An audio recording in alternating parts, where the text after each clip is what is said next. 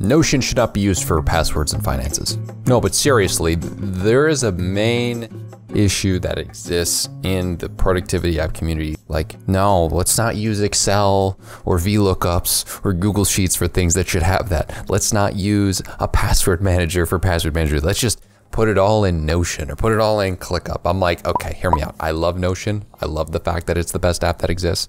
I love the fact that I've been using it for years and it's made me happy. Don't have end-to-end encryption. You don't have two-factor authentication. And you know what? A lot of people have voiced some really good concerns about this for a long time, and I've just kind of avoided it. I've even fallen privy to this. I accidentally put in some passwords at one point, and I was like, realizing it later, going, what the heck? This is a web-based situation. I do not own my data. It's not like Obsidian where it's just stored on my computer. I'm like, this is bad. This was dumb. I made a mistake. When looking at some random articles that exist, you just go through and you think, wow, wait a second. These people bring up great ideas. There's even a Reddit question that was posed that I found pretty interesting, where they kind of pointed out that you pretty much can have your notes be accessed by employees. How do you guys feel about the fact that Notion employees can access and see your notes. I talked to their customer support many times and I noticed that they can access my notes, of course to help, but this leads to a huge security concern. I know I shouldn't be doing this, but I have some very sensitive data in my Notion that I don't want anyone to be able to possibly access and see it except myself. I really wish they had some privacy feature in my opinion. I think it's a matter of time until some data such leak happens to them or one of their employees goes rogue and, and abuse consumer data. Who knows, it may be already happening, but there's no way for us to know since it's all internal. What do you guys think?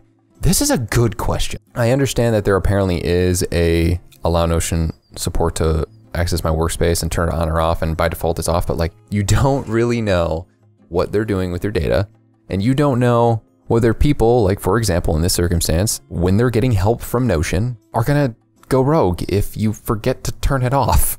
Like, here's something that I regret doing very much so. Finance page right here. I don't really care if you see some of the numbers, but like, this isn't that bad, but like, why don't I just use Excel? Like I started using Google Sheets instead, much better. So I have a tech stack, right? And I used to have passwords and stuff in here and I regret it. Like I regret having this so much. I don't know why I did that.